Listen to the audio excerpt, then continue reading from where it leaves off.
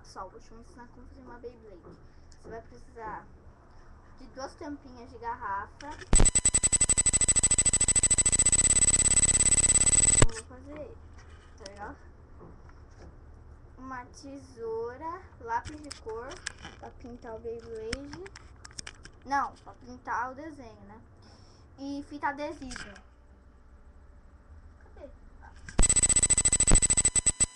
pegar a fita adesiva e você vai colocar esses dois um sobre o outro, ó, assim, ó. Aí você vai colar depois com a ajuda de alguém, né, pra segurar. Depois, você vai colar com cola ou com fita adesiva o desenho. Aí tá pronto, né? Fui.